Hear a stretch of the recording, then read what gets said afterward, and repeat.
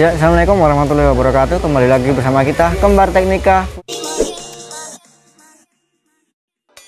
Nah, di samping saya ini sudah ada satu unit mesin molen. Nah, ini uh, mesin molen ini memiliki panjang 190 dan memiliki lebar 80 cm dan memiliki tinggi 135 cm.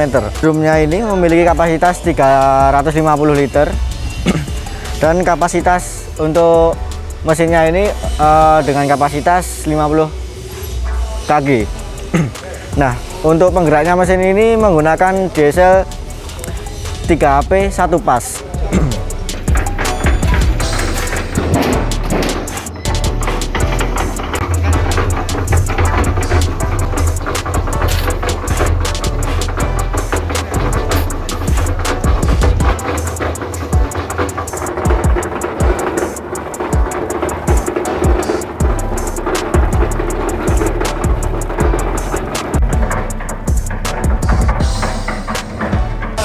Ya, itu tadi sedikit penjelasan tentang spesifikasi mesin molen uh, Kembar Teknika. Uh, saya pamit undur diri.